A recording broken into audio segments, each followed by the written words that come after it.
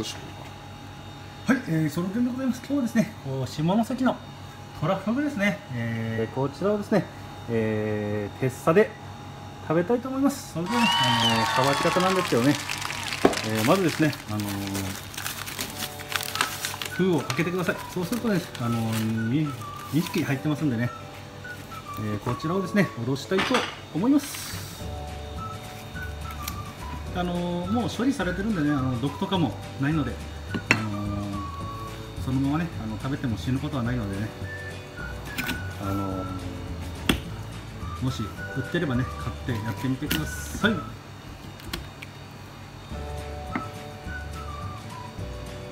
まあ、あと血とかねついてると、あのなるべくきれいにですね取ってください、えー、毒がねある可能性もありますんでね。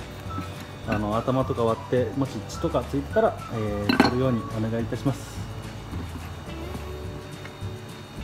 ではね3枚におろしていきたいと思います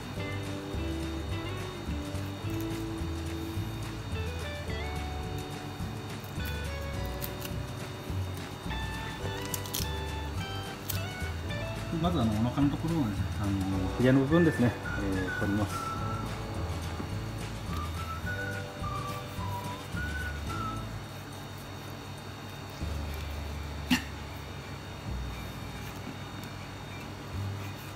えー、まあね一度に食べない場合はですね、あのー、食べない場合でもね、あのー、3枚におろしてですね、えー、ビールにくるんで、えー、保存した方がですね長持ちしますんでねお願いいたします。あとヒゲですねこれヒゲ酒とか、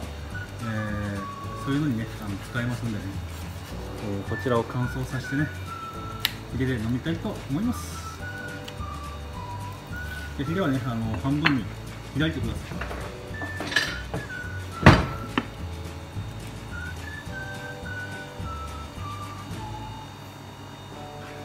ひげすひげ酒でね、あのー、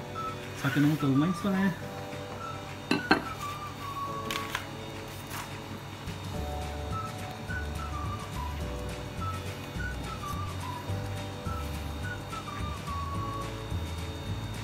はい、え、したらね、皮が、薄皮があるんでね、薄皮を剥きたいと思います。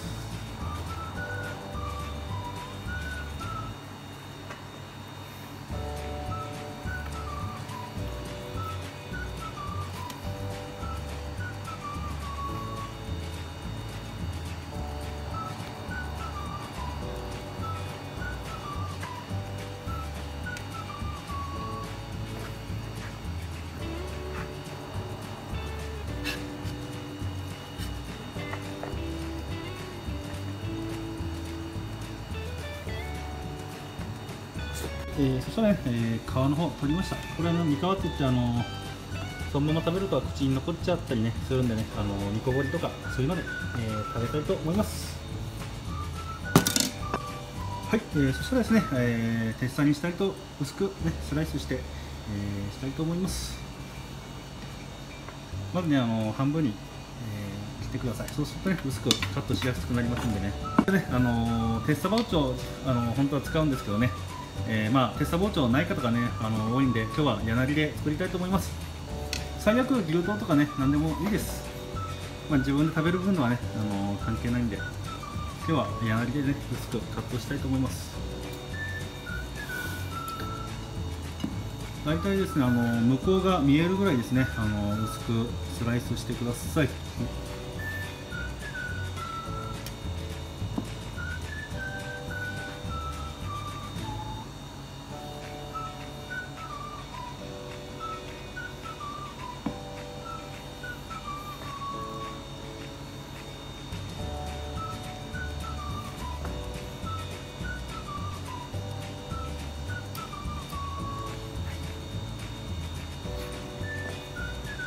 まあ今日ね、あのー、まあ贅沢にちょっと厚めにね、あのー、切って、あのー、歯ごたえを楽しめるようにね、ちょっと厚めにカットしました。そしたらね、あのちょっと飾りつけてね、え食事したいと思います。はい、それではね、あの皮の方をね、あのボイルしたいと思います。で、あの茹ですぎるとね、あのゼラチン質なんでね、あのなくなっちゃいますんでね、あの爪をですね、あの立てて、あのある程度ね、やめてください。であの爪をねちょっとやって。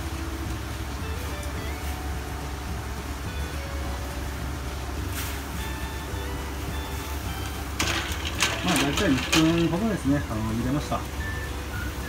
あ、爪がね立てばね全然大丈夫なんですけどね。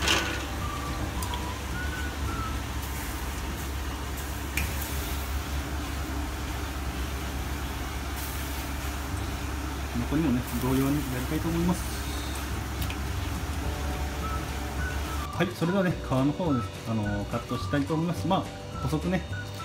えー、カットしてください。あの切り干し大根みたいなそんな感じでねあのカットしていただければよろしいかと思われます。はい、えー、それでね、えー、テーブルの方やってきました、えー、トラフグのですねテッサですね、えー、もみじおろしと左でね食べたいと思います。非常にですねうまそうですね。贅沢に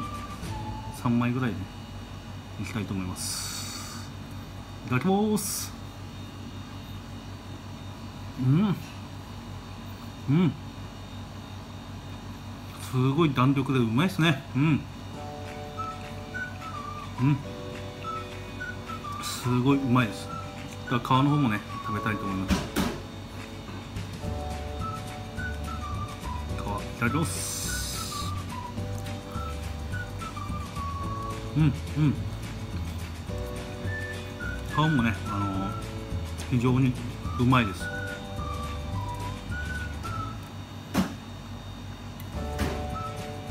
この薄さですね。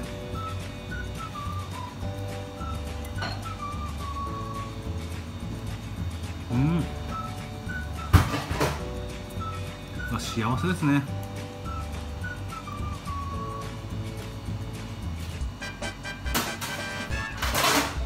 以上ねあのフグのフェスタの作り方でした、えー、よかったと思った方はグッドボタンそしてチャンネル登録よろしくお願いいたします。それではまた次回お会いいたしましょう。さよならさよならさよなら。バイバイ。